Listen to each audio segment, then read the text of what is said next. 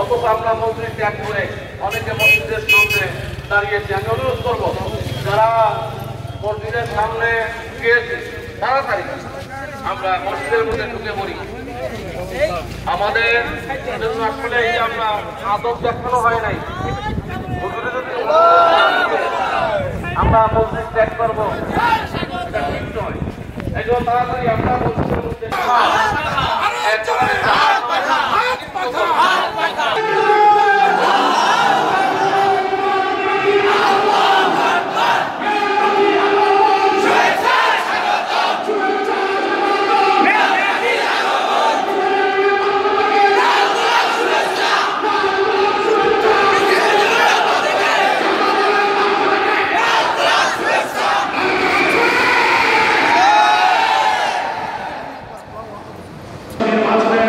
ইসলামী আন্দোলন বাংলাদেশের পরিণত প্রার্থী